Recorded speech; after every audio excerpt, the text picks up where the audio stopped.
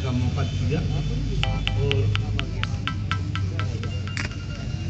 मैं गज़ल से शुरू कर रहा हूँ। गज़ल से पहले क्योंकि नशस्त जो है मौलाना हसरत मोहानी के से मंसूब है उनसे महानवन है।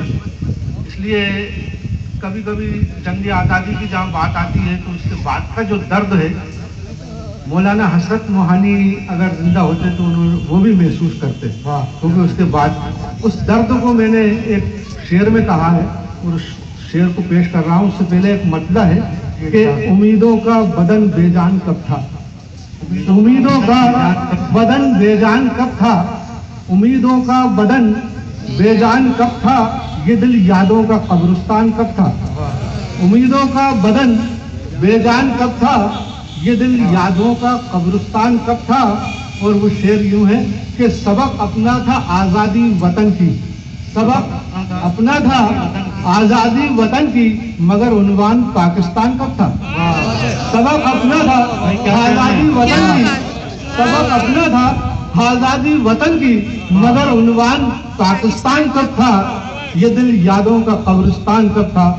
और शुक्रिया जजाकल्ला। सबक अपना था आज़ादी वतन की मगर मगर उनवान पाकिस्तान कब था? और गज़ल का मतलब पैसे खिदमत है। कि फूल जब से हुए हैं बेईमान। फूल से हुए हैं बेईमान। जब से हुए हैं बेईमान।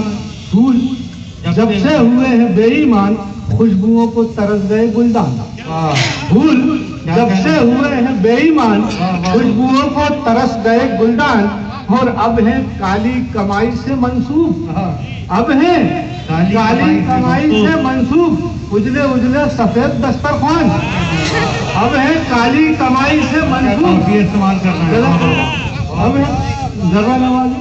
कि अब है काली कमाई से मंसूब उजले उजले सफ़ेद दस्तरखान और एक जवा जिस्म की तपिश पाकर। एक जवा जिस्म की तपिश पाकर। भाप की तरह उड़ गया ईमान जवा जिस्म की तपिश पाकर कि एक जवा जिस्म की तपिश पाकर भाप की तरह उड़ गया, ईमान, और एक जवा जिस्म की तपिश पाकर भाप की तरह उड़ गया, ईमान। और वक्त से पहले क्या मिली ताबीर? वक्त से पहले क्या मिली ताबीर? ये मोहतरम हसन काजमी साहब इस शेर के गवाह हो सकते